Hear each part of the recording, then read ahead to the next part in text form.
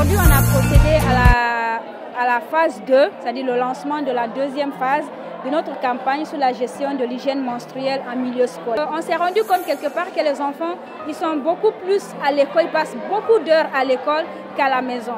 Et encore, notre objectif, c'est contribuer au maintien de la jeune fille à l'école pendant les périodes de menstrues.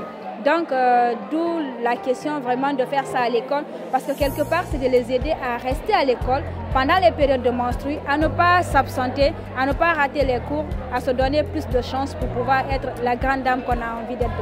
On a fait euh, des sensibilisations, on a fait des causeries avec euh, les sages-femmes de PSI sur euh, les questions des SSR, santé sexuelle et reproductive, planning familial. On a fait une causerie sur l'éducation complète à la sexualité, une autre causerie sur la gestion de l'hygiène menstruelle en milieu scolaire, suivi maintenant des sessions de coaching, euh, de, sur l'estime et la confiance en soi.